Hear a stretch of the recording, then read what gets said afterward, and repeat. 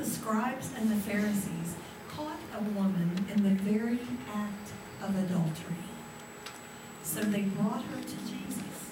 Now, Jesus was teaching, but they brought her and threw her down at his feet as if she were worthless. And they said, The law of Moses says she should be stoned. But what do you say? Well, Jesus ignored them. Actually, he stooped down and he started writing with his finger. But they kept pressuring him, saying, The law of Moses demands she be stoned. But what do you say, teacher? Jesus slowly lifted himself up from the ground, and he handed that Pharisee back his rock. And he said to him, Whoever here is without sin, then let them throw the first stone. Well, they looked at each other, confused, of course, but they knew each one of them was a sinner. So one by one they left.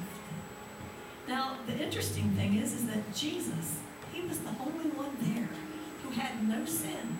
And yet, he refused to stone her, and he would not condemn her. Because Jesus will do for you exactly what he did for that woman. What he did for her was he made her clean.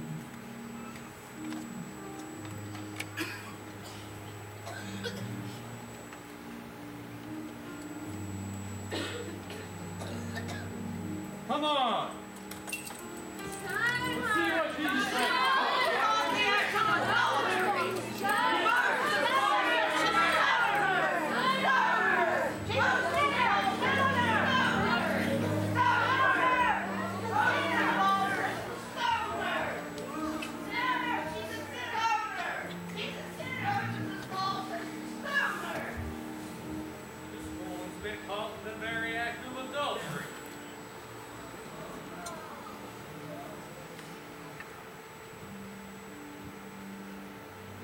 According to Moses' law, she should be stoned. What do you say?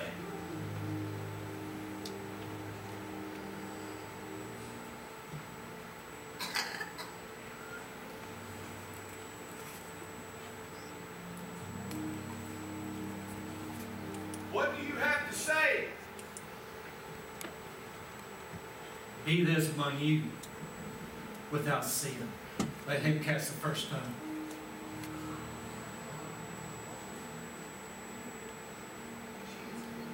Daughter, look up.